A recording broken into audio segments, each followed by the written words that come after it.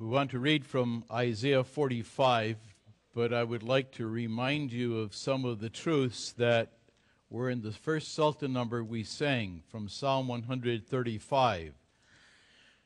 Psalm 135 in verse 6 says this Whatsoever the Lord pleased, that did he, in heaven and in earth, in the seas, and all deep places then it continues He causeth the vapors to ascend from the ends of the earth.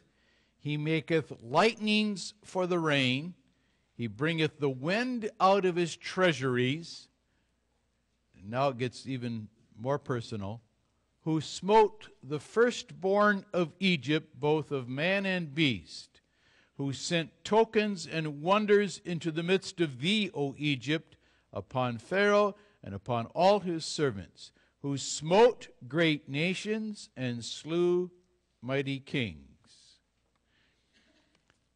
Just how he did that is also described in Isaiah 45. There we read, Thus saith the Lord to his anointed, to Cyrus, this is written before Cyrus was born, whose right hand I have holden to subdue nations before him and I will loose the loins of kings to open before him the two leaved gates, and the gates shall not be shut.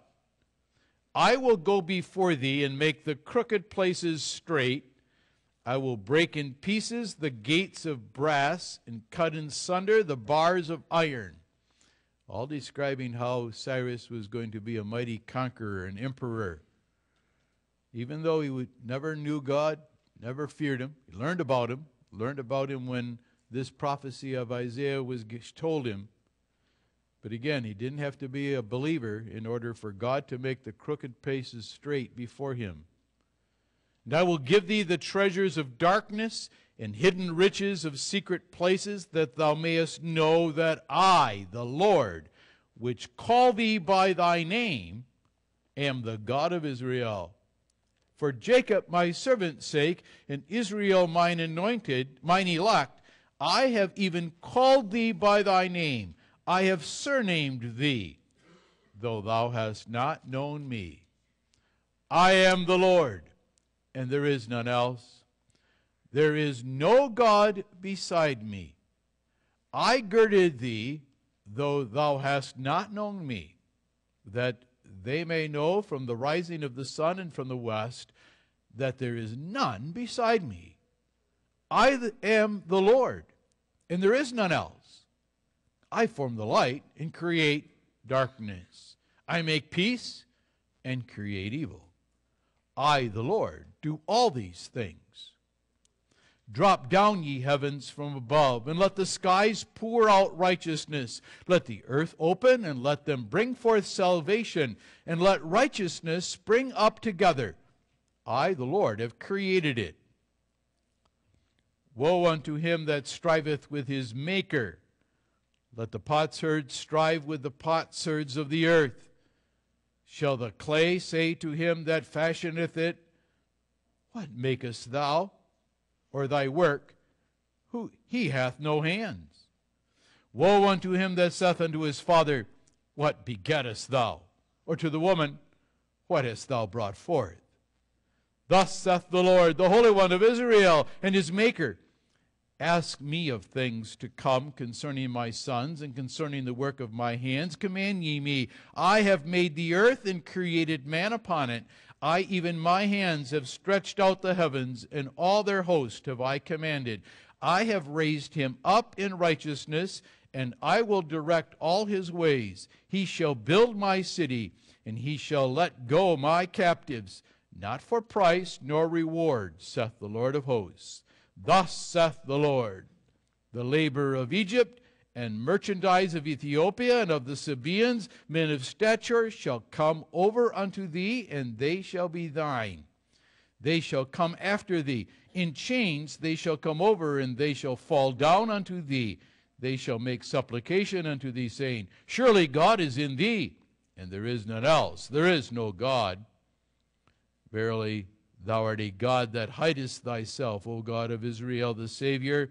They shall be ashamed and also confounded, all of them. They shall go to confusion together that are makers of idols. But Israel shall be saved in the Lord with an everlasting salvation. Ye shall not be ashamed nor confounded, world without end. For thus saith the Lord that created the heavens, God himself that formed the earth and made it.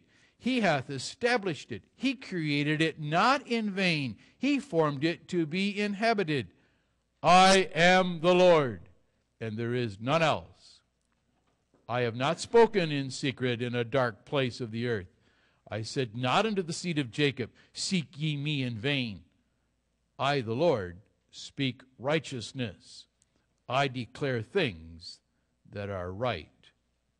Assemble yourselves and come. Draw near together, ye that are escaped of the nations. They have no knowledge that set up the wood of their graven image and pray unto a God that cannot save. Tell me, and bring them near. Yea, let them take counsel together. Who hath declared this from ancient time? Who hath told it from that time? Have not I, the Lord? And there is no God else beside me, a just God and a Savior. There is none beside me. Look unto me, and be ye saved, all the ends of the earth. For I am God, and there is none else. I have sworn by myself, the word is gone out of my mouth in righteousness, and shall not return, that unto me every knee shall bow, every tongue shall swear. Surely shall one say, In the Lord have I righteousness and strength. Even to him shall men come, and all that are incensed against him shall be ashamed. In the Lord shall all the seed of Israel be justified, and shall glory. May God bless the reading of his holy word. 5 and 6 and 7. I am the Lord, and there is none else. There is no God beside me. I girded thee, though thou hast not known me, that they may know from the rising of the sun and from the west that there is none beside me. I am Jehovah, and there is none else. I form the light and create darkness. I make peace and create evil. I, the Lord, do all these things. Lord's Day 10. Lord's Day 10. Remember, this is another part of the articles of the Apostles' Creed, presenting what is said we believe, what we must believe to be saved. In that first article, that's what's still being covered in Lord's Day 10. There is the word providence is not used. But this Lord's Day, which treats the whole subject of God's control over all things, is implied in the fact that He created. I, the Lord, created all things, the maker of heaven and earth. And the fathers say, if you can say he make is the maker of heaven and earth, then you also have to say he's the controller of it. And if you would read Isaiah 45 again, then how many times he doesn't refer to himself as the maker, the creator? Those are two thoughts that go hand in hand. An article, a Lord's Day that for some is a favorite. I would guess that most would pick out Lord's Day 1 first, but it wouldn't take long before they would, in their list of favorites, come to Lord's Day 10, especially question and answer 28. What dost thou mean by the providence of God? The Almighty and everywhere present power of God, whereby, as it were by his hand, he upholds and governs heaven and earth and all creatures, so that herbs and grass, rain and drought, fruitful and barren years, meat and drink, health and sickness, riches and poverty, yea, and all things come, not by chance, but by his fatherly hand. What advantage is it to us to know that God created and by his providence doth still uphold all things? that we may be patient in adversity, thankful in prosperity, and that in all things which shall hereafter befall us, we place our firm trust in our faithful God and Father, that nothing shall separate us from his love, since all creatures are so in his hand that without his will they cannot so much as move.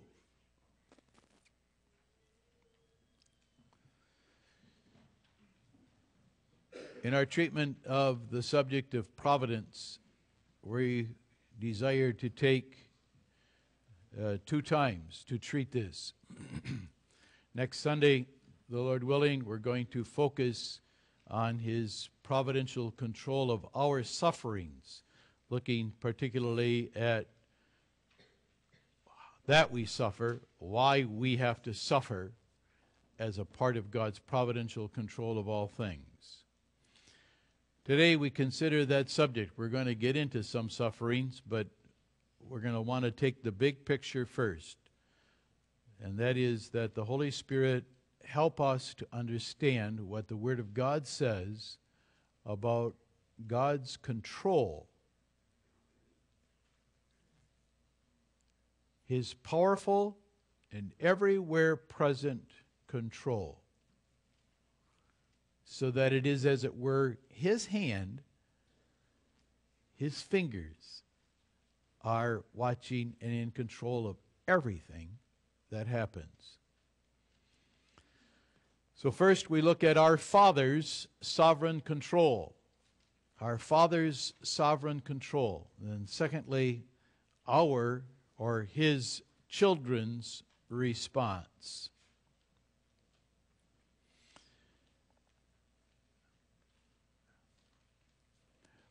We're going to use the word providence. We're going to talk about providence, and just about every one of you has a very, very good idea about what providence is. But we're going to fail if the focus of our understanding is on providence when it should be on our Father. This God, this one only God,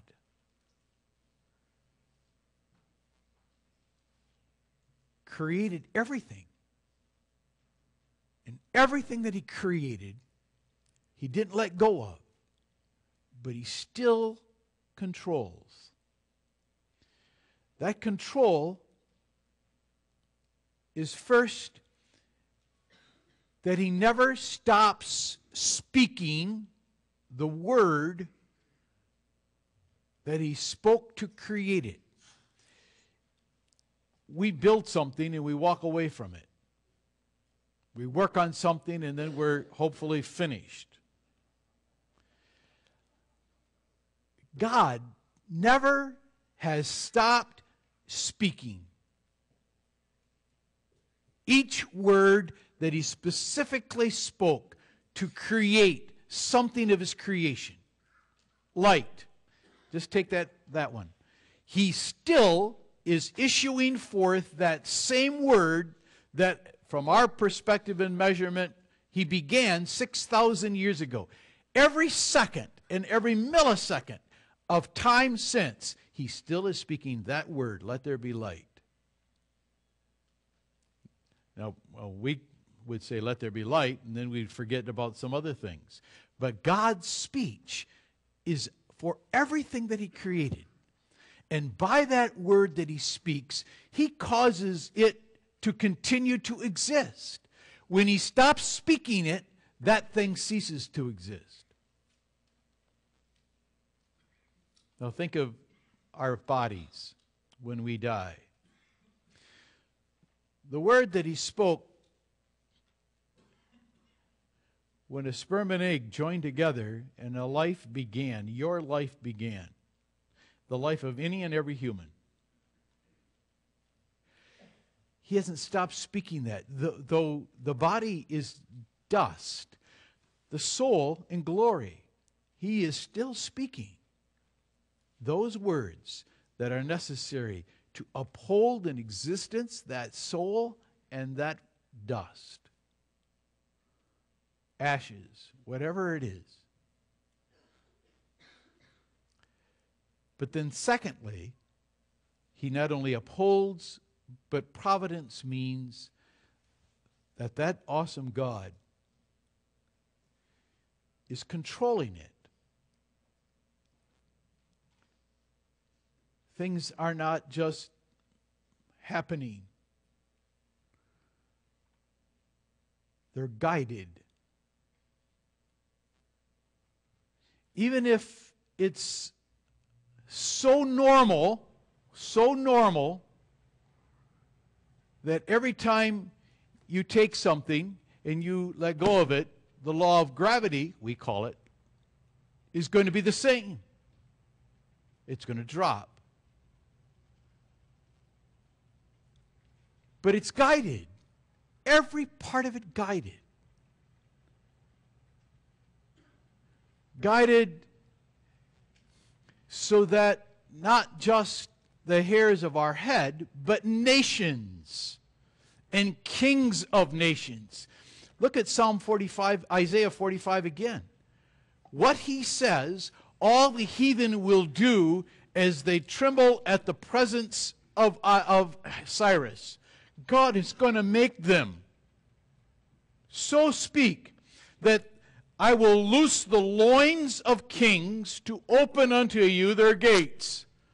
They're going to be so scared of you, they're going to willingly surrender themselves to you. I go before you and make the crooked places straight. Kings of the earth are nothing to God. Think of how Nebuchadnezzar, when he recovered his mind in Daniel 4, spoke of God's sovereign control. Every part of creation, lightnings flash, we sang in 387, 373 all kinds of things, the roll and the sound of thunder, all under that control. Animals. Second Kings says very specifically, God brought lions into that land of Canaan when the inhabitants, later called Samaritans, were worshiping other gods. God brought the lion that killed that man of God out of Judah when he, when he stayed and ate in the house of that prophet in Israel. God closed the mouths of lions when Daniel was in captivity. God, God guides every mosquito that buzzes in your ear when you're trying to sleep every fly, every bee sting. He controls every one of his creatures. Satan and evil spirits, all under his sovereign control. Pharaoh in Egypt.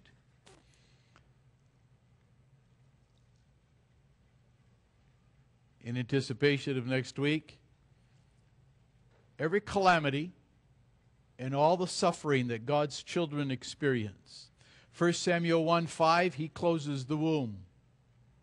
Ruth 1 verse 20, Naomi says, Call me bitter, because God hath brought this calamity to my life.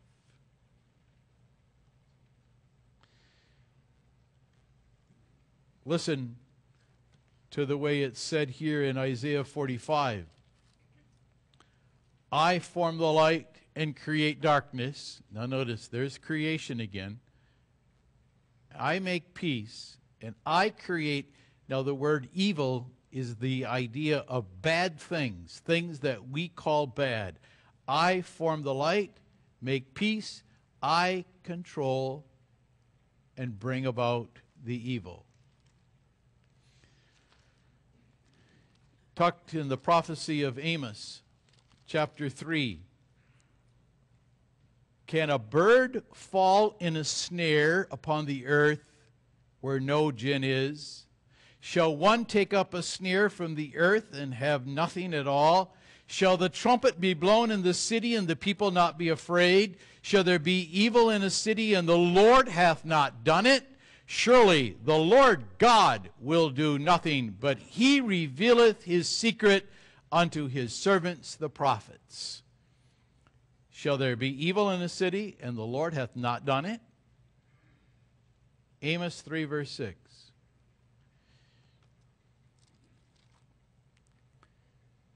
He controls what we call the normal and the special, the pleasant and the unpleasant, the greatest is so beneath him, and the tiniest.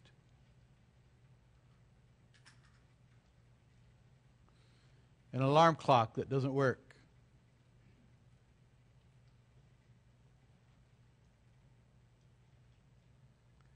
the rain that goes around the soybean field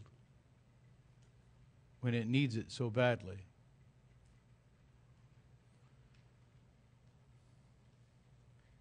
The lab report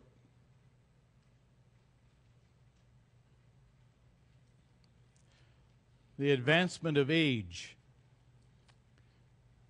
So we can't live in our familiar home anymore.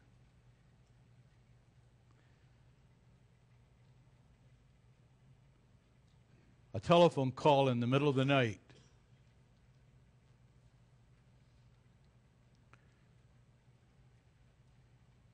A car door that we slam on our own thumb. Or somebody else closes the tailgate on a finger. Or the news that a child yet in the womb is developing with his stomach in the wrong place.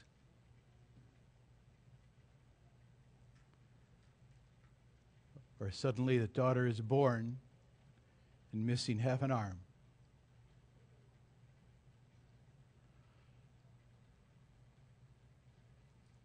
God, our Father, so that when we consider the truth of his control, there are certain adjectives that we must use in order to understand it. Constant, constant control, constant guiding. We don't use the word continual to describe God's control. We use the word continuous because continual is dots, and dashes with gaps in between, but continuous is one solid, constant control. Constant control. Omnipotent control.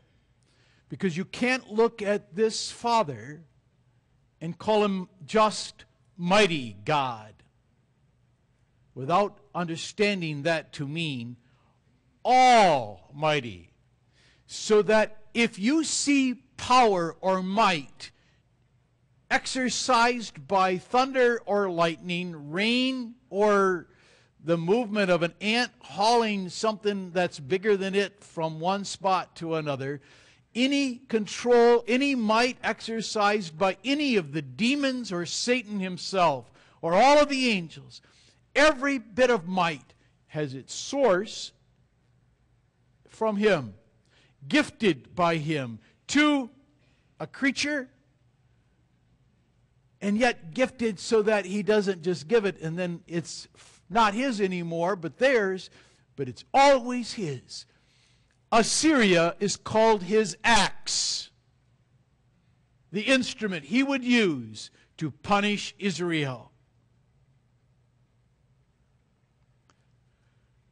Constant, almighty, or omnipotent, free. Free. By that we mean nothing can prevent him from doing what he wants to do. There's no outside force or event that makes God have to alter. He is sovereignly free in his control of all things.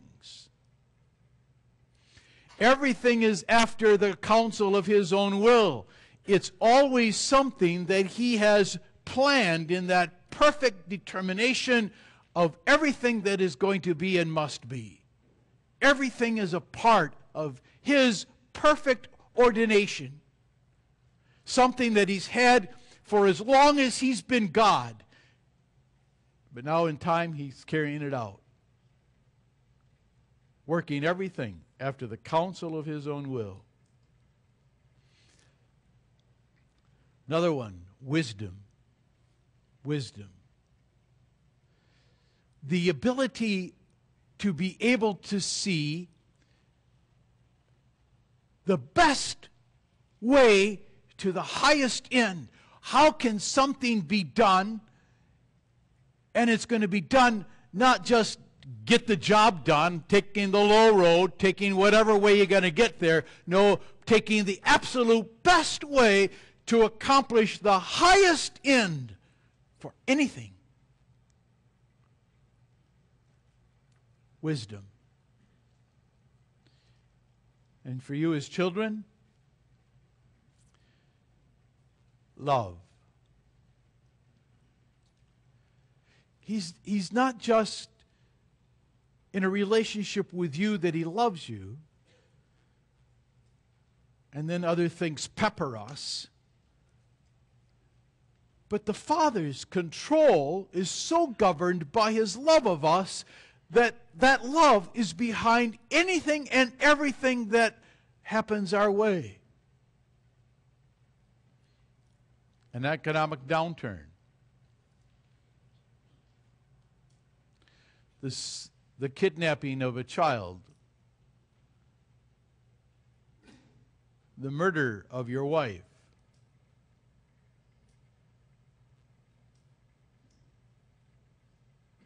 The words you heard somebody say about you.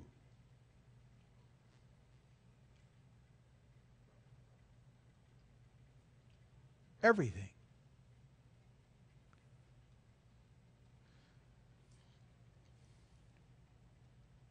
To be able to see this control, this guidance, but not just to see that control, but to see the controller, to see the hand, to see, better yet, the heart that's behind the hand, the heart that governs and controls that hand that controls everything, everything in your life so that when that word is spoken, or that murder takes place, or this accident, as we call them, or whatever it may be, you don't see the events as much as you see the heart of your Father behind it.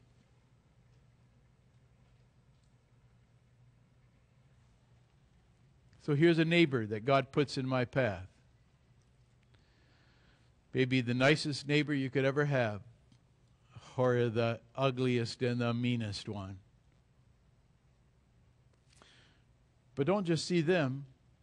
And don't just say, well, God's in control of this. No, but you see the heart of your Father with his face shining in love to you above it, on each side, below, behind, and in front you see your Father. You see Him. That's faith. Faith concerning the providence of God. This destroys certain lies that man have created to deny the existence of God, the Creator, and the providential sustainer. This denies chance, luck, so that things happen by an uncontrollable happenstance without anybody's control. This destroys the thought of fate. Things occur blindly. They've been determined somehow, some way, but the determination is meaningless, and it just, you got to deal with it.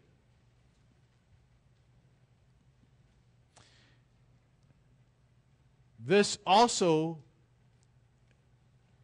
here we have to be careful. This truth of God's providential control and guidance of all things does not deny the responsibility on the part of every angel or man, every rational moral creature. Responsibility is not destroyed by God's control of them and use of them because responsibility is determined not by what God planned or by God's control. Responsibility is always and only determined by what God commanded that rational moral creature to do. And when that rational moral creature doesn't do what God commands it to do, it stands responsible to Him. Human responsibility is determined only by God's commandments. So, Cyrus, Pharaoh, the persons that you live with,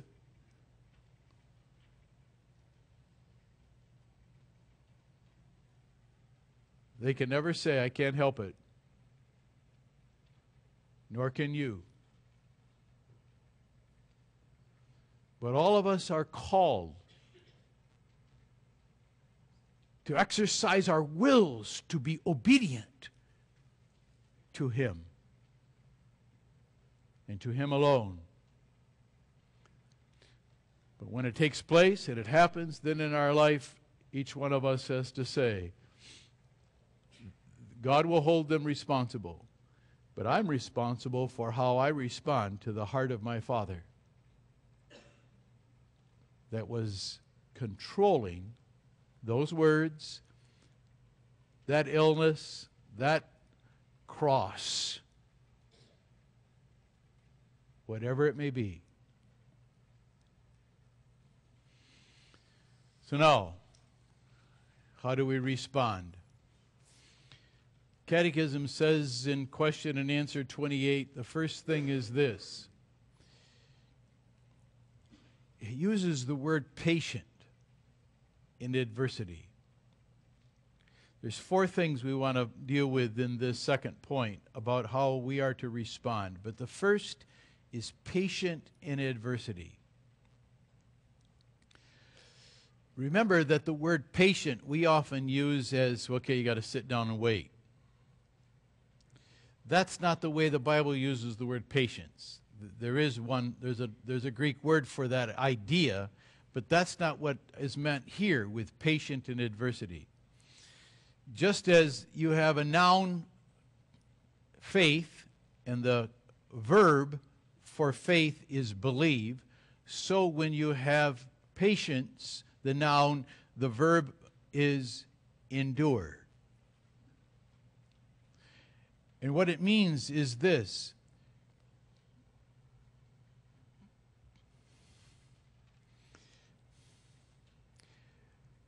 that you open your arms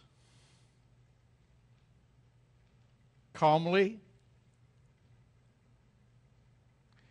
joyfully, and cheerfully. You open your arms and you embrace Him.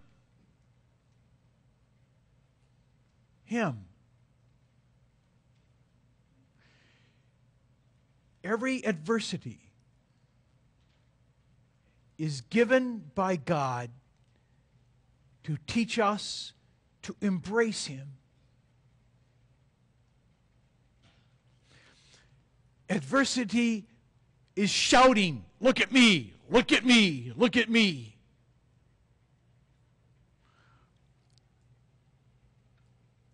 To work patience, Romans 5, verse 3, James 1, verse 3. God to work patience in us. What does it mean to work patience? To develop patience to make us learn what it is to endure sin's tribulations. Tribulation worketh patience, patient experience. God works patience in us by saying to us through all of the tribulations, Look at me and embrace me. Your ability calmly to endure, to persevere in the midst of the trials, so that you don't swerve from your embracing me. Maybe another way to put it is this way patience is so to see the heart of your Father that, that when He sends these adversities, these difficult crosses, these hard times, hard to our flesh, we will not stare ourselves blind at the adversity, but we will strive with everything we have by exercising the muscle of faith to look up and behold that heart so that we never stop rendering grateful returns of ardent love. To him who loves us first, always. So we never stop saying, I love you too. I love you too. I love you too. I love you too. Never stop saying that. That's what patience in adversity is. The exercise of our faith in the relationship that God has established with us. Sure, that's the real meaning of the word covenant. Covenant is his relationship with you and your relationship in return to him. Patient. This is his love. I realize that he knows what he's doing, even in the pain of our life. He knows our ways. He knows our weariness. He understands the wrongs that we have to bear and endure.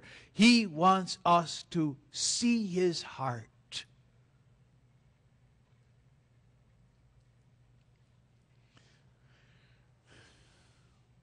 Why did the children of Israel have to be in Egypt for 400 years? This country's not even 300 years old. Israel was 400 years in Egypt.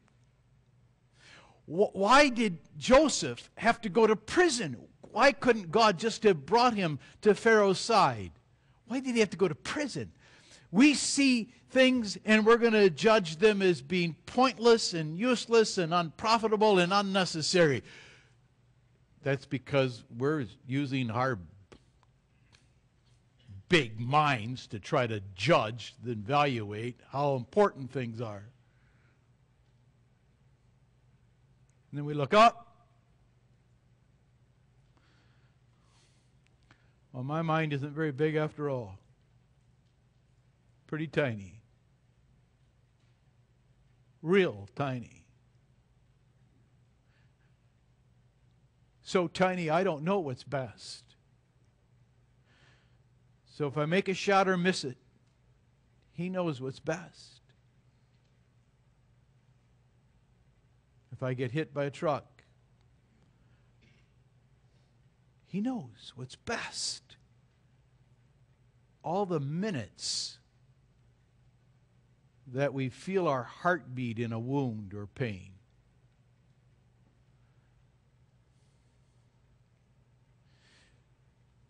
If we can be patient in adversity,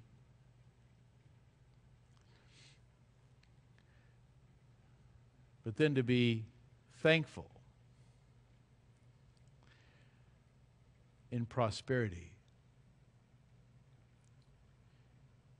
It's the observation of many who have had all kinds of experiences with God's people that we have a harder time being thankful in prosperity than patient in adversity.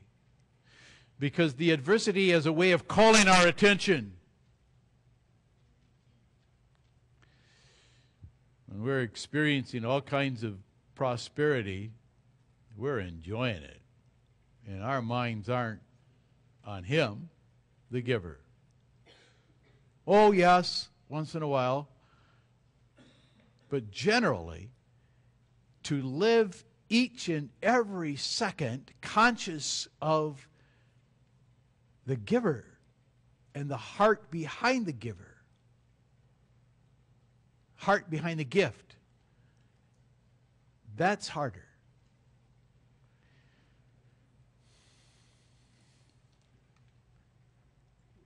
When we're anticipating a problem, we can pray.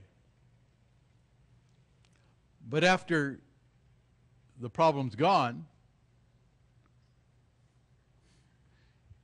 do we say thanks?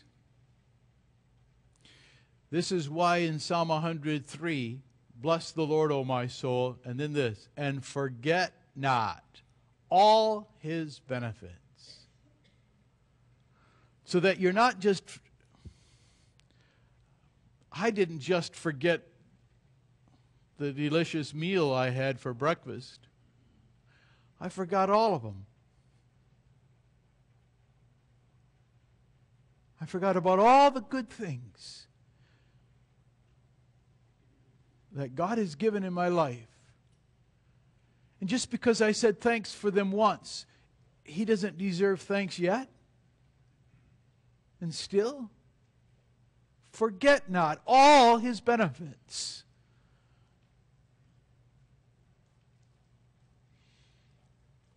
We take prosperity for granted. But gratitude, thankfulness, sees that everything we did, every 20 part of the 25 years, 60 years, 80 years, whatever, you look at it and you bow. Tonight, for discussion groups, we're going to talk about worship. Worship isn't just this church. Worship is an attitude of heart every hour and every second of every hour of your whole life. Worship is your standing in awe and declaring the worthiness of your heavenly Father to receive your thanks.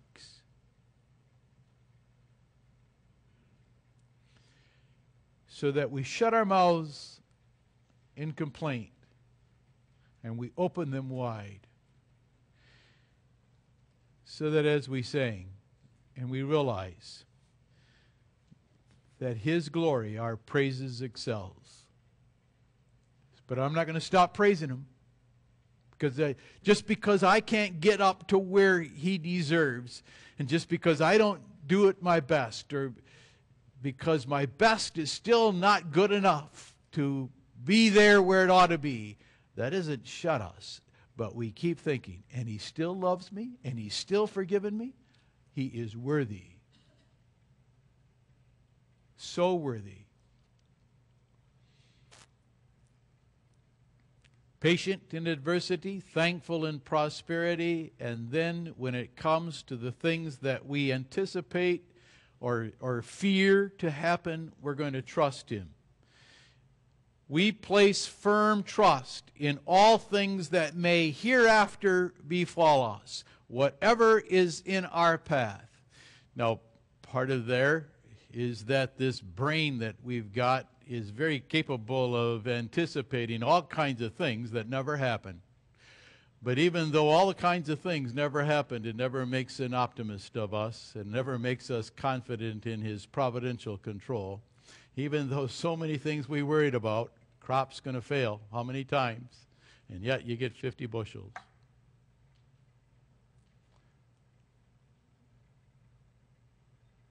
And that's just tiny example of all the different things where we start worrying as we lie in bed losing sleep because our mind is anticipating something that often doesn't happen.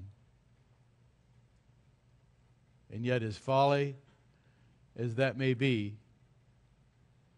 to get a hold of the mind when we're half awake and half asleep, lying in bed, and not fully asleep, to say, I'm going to trust the heart behind the hand, who not only has, but who is going to keep there. He's going to stay there. He's never going to stop being there. The conviction, the conviction that enabled you to be thankful and even embrace Him in the hardest times of the past assures you that He will give you the ability to embrace Him in the future so that you can trust that His love, which has been from everlasting, is going to be there every second of the rest of your life. That's why they word it the way they did, our fathers. Nothing is going to separate you from His love. You're looking at this thing that you conceive of and it's keeping you from falling asleep. And you're worried about, or you dream about this, this wedding or, or all these other issues that we can conceive of. And, and he says, I love you, child. I've brought you, I'll keep you.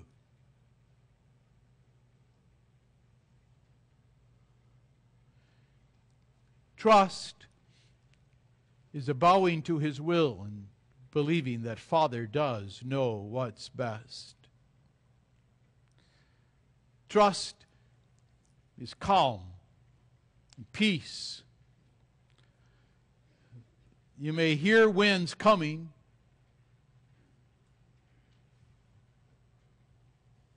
but your anchor holds.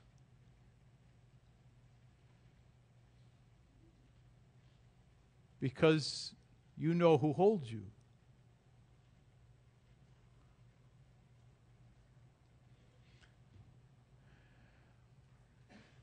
Patient in adversity, thankful in prosperity, trusting Him with the future, but always, always obeying Him. Now remember, don't think this, thou shalt not, thou shalt not, thou shalt not. No.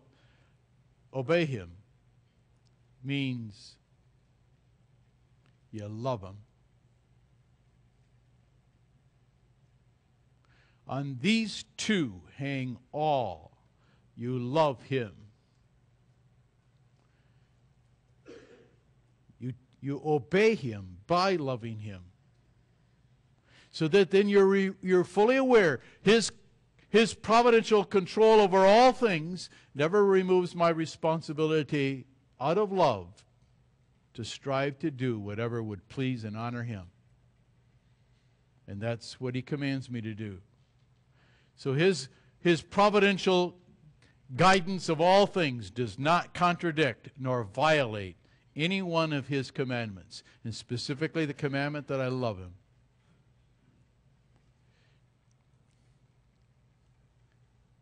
Lay yourself upon the altar of willing service to him. Now, of all the people in the world, we are best equipped to do that. To lay ourselves upon the altar. Lord, what wilt thou have me to do? How can I serve thee? I want to serve him by serving and assisting all those that he puts in my path. Okay.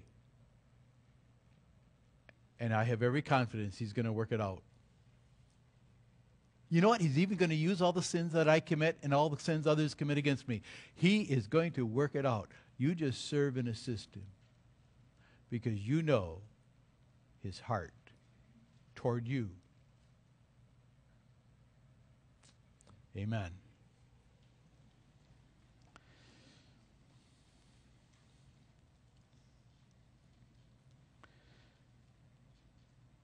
All those who with heart confiding depend on Thee alone